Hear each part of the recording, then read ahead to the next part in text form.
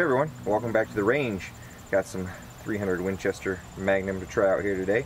This is Mark 248 Mod Zero. It's a 190 grain hollow point boat tail bullet from Federal. We have our 24 inch TC compass today, sporting our Redfield 3x9 scope that I picked up from Optics Planet. I'll throw their link in the description below. We have our ProChrono Digital at 10 to 12 feet. We'll try to do accuracy while we're at it. I have a target at 100 yards. 65, 70 degrees outside. Kind of warm today. Let's do this.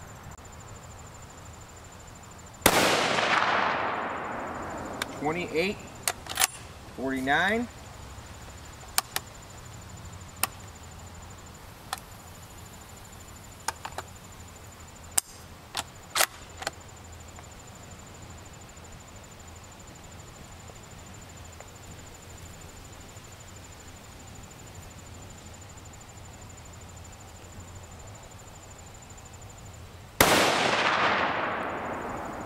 28, 42.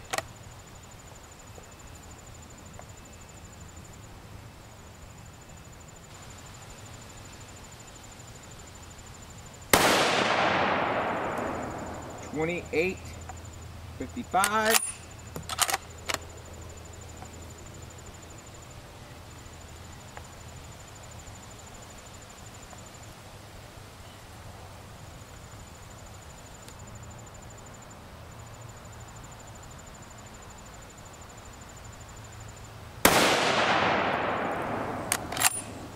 28, 42.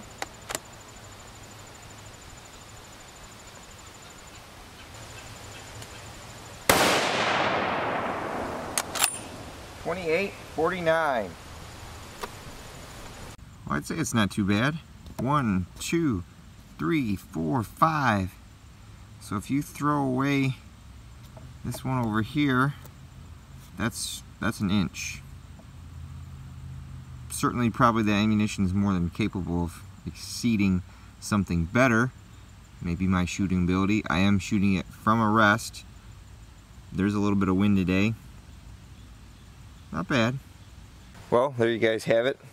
Solid velocity numbers out of 190 grain 300 Winchester Magnum. This stuff's kind of hard to find. I happened across somebody on one of the forums that had some, sold me a box of it, so I figured we'd throw some down range just so we had some data on it.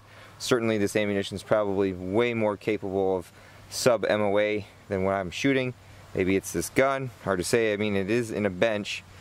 So, as always, thanks again for watching everybody. Until next time, catch you at the range.